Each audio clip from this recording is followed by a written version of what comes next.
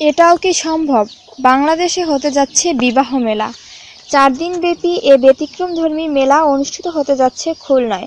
অবাক হওয়ার মতো হলেও সত্য যে খুলনায় চার দিনব্যাপী অনুষ্ঠিত হতে যাচ্ছে ব্যতিক্রমধর্মী বিবাহ মেলা।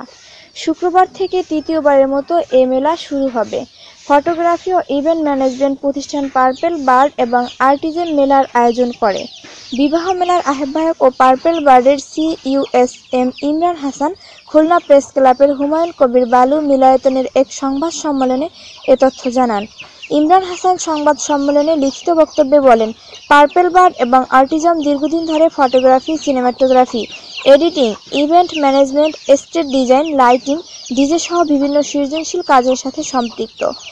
ইমরান হাসান বলেন এটি শুধু জীবিকা নির্বাহের অবলম্বন নয়, এটা পেশা ও নেশা, মানুষের ভালোবাসায় সিক্ত হওয়ার একটি মাধ্যমও বটে।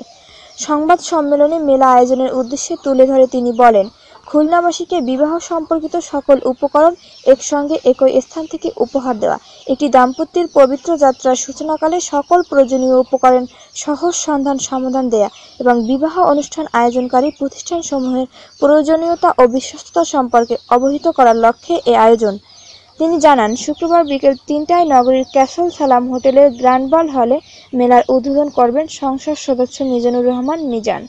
মেলা প্রতিদিন বিকেল তিনটা থেকে রাত নয়টা পর্যন্ত চলবে।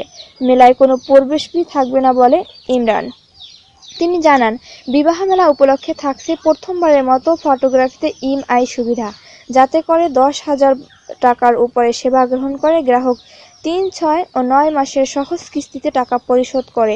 মেলা চলাকালীন সময় পনেরো শতাংশ ডিসকাউন্ট মেলা চলাকালীন বুকিং দিলে পনেরো শতাংশ ডিসকাউন্ট মেলা উপলক্ষে স্টলগুলিতে বিভিন্ন অফার।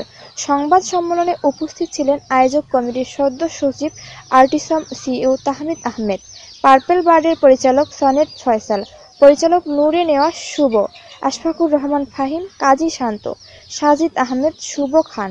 পলাশ তসনিম রহমান, তুনান, আলাউদ্দিন ও ইসমাইল হোসেন লিটু উপস্থিত ছিলেন। বন্ধুরা, আমার চ্যানেলটি সাবস্ক্রাইব করে আমার সাথেই থাকুন। আর হ্যাঁ লাইক কমেন্টস এবং শেয়ার করুন।